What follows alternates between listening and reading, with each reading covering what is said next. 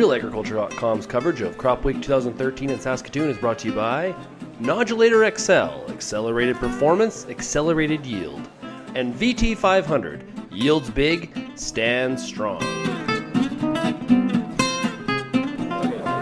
So we're at uh, Crop Week 2013 in Saskatoon. We're with Kevin Pattison from AgriData Solutions and AgriTrend Company. Uh, Kevin, this is the first time you've ever brought AgriData Solutions to an actual farmer farm show. Yeah. How come?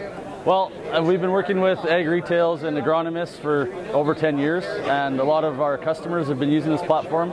Um, but we have a lot of farmers who um, aren't working with a coach or ag retail and want to track data themselves. And we've got a web-based system that makes it easy and then get started really quickly. Um, so we thought we'd bring it to the to the farm show and see if we can generate some interest and give some guys an option to um, start tracking their data. Okay, so what kind of data can I put into the data solution?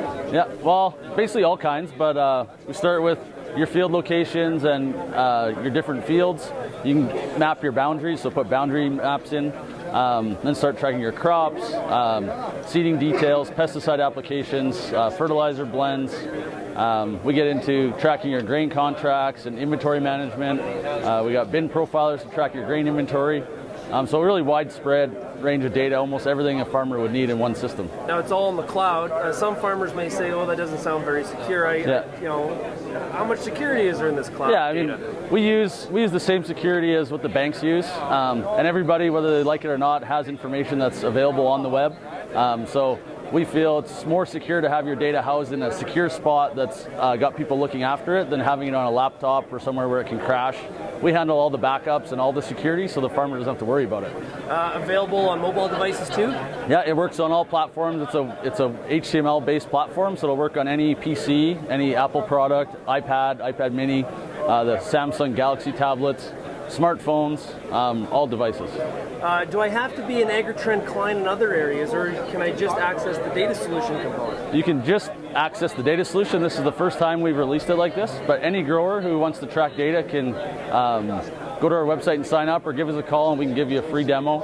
Um, What, what, how much are storage charges? How much does it cost? Yeah. So the cost is uh, $500 per farm per year, plus 15 cents an acre. Um, so a 5,000 acre farm would be about $1,250 a year, and that's unlimited computers, unlimited users.